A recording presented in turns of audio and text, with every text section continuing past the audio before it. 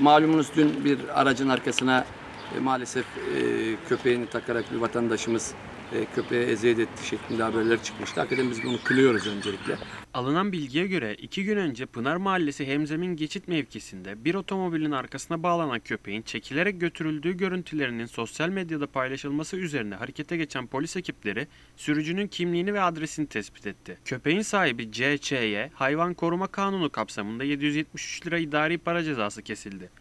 Kırklareli valisi Osman Bilgin yaptığı açıklamada bir köpeğin aracın arkasına bağlayarak çekildiğine ilişkin görüntüler üzerine güvenlik güçlerinin harekete geçtiğini söyledi.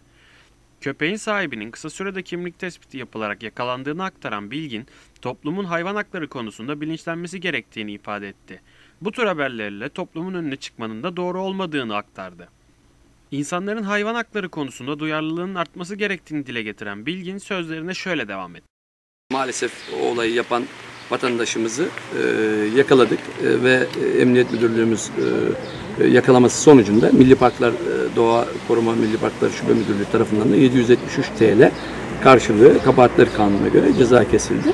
E, ve e, kanunen yapabileceğimiz buydu. Yapmam, yapmamız gereken her şeyi de yaptık ve ilgili şahıs da bulundu.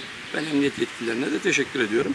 Aynı zamanda bütün vatandaşlarımızı da e, nasıl ki insana değer vermemiz gerekiyorsa hayvanlara da bu şekilde değer vermemiz gerektiğini ve bu konuda duyarlılığında ve toplum bilincinin de artması gerektiğini belirtiyor. CÇ ise emniyetteki ifadesinde otomobilin koltuklarına zarar vermemesi için köpeği araca bağlayarak götürdüğünü belirtti.